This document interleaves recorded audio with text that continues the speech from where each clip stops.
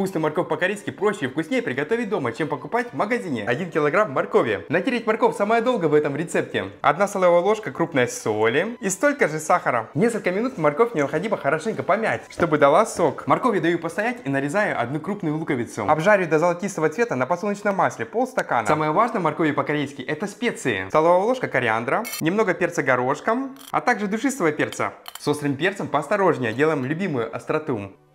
Специи лучше всего измельчить самим, так вкуснее. Хорошенько отжимаю сок с моркови. Если не убрать сок, морковь не будет такой вкусной. Чеснок мелко нарезаю, а лук хорошенько обжариваю. Все специи отправляю сверху на морковь, поливая раскаленным маслом. Без лука.